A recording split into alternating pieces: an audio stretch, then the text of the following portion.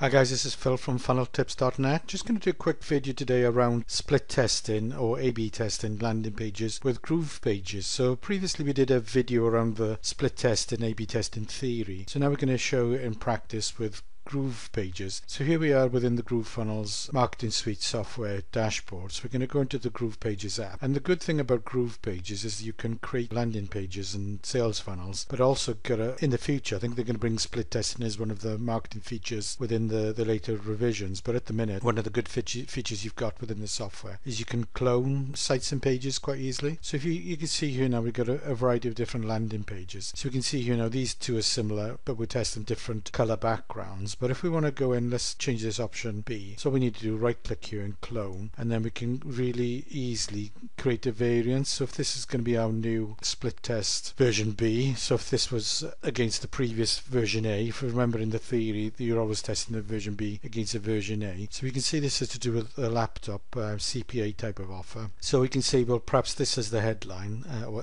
and the, you've got a countdown timer. So what we might want to do is make this more specific. So instead of it, your chance to win an awesome laptop your chance to win an awesome so people who are in the know about laptops let's keep it caps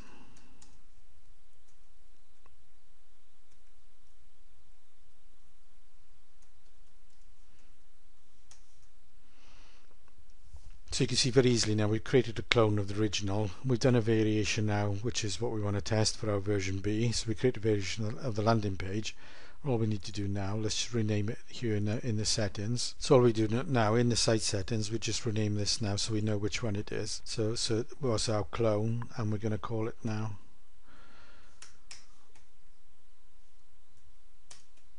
version 2b and that that way then when we go back to our main page we can see the difference. So that's what you can do. If you get the pro account you can create unlimited sites and pages. If you've got the Lite account you're obviously restricted on the number of sites you can create. But you can still do this quite well. So we look now within the pages we can see now this is a single page site but we've also got the option in here now to create a clone of the page so if we click on there see we can clone the page? So if we were on the free Lite version we could still clone this. So now we'll have two versions. That's noted as homepage clone and we go into our pages we'll rename that version.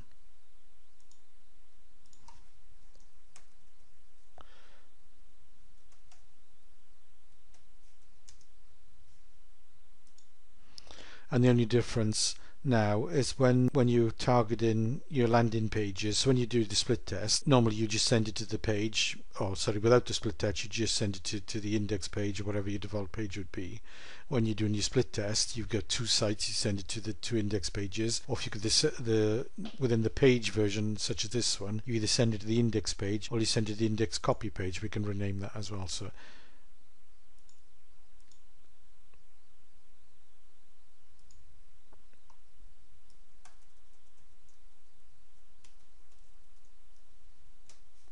yeah you can call it whatever you like here. But then you you just reference this within your within your targeting whatever you send your traffic you send it to this second copy so within within the free sites you can still do this. So it's, it's really easy way to create split tests. So it's just a, a, quick way to create clones. It's really powerful editing software and it's really easy to create different versions to do split testing within Groove Pages. And don't forget I'll put a link down below but you can get a free version of Groove Pages at the moment which is being offered to the businesses uh, due to COVID-19. So don't forget to check that out and don't forget to like and subscribe and I'll see you soon on the channel.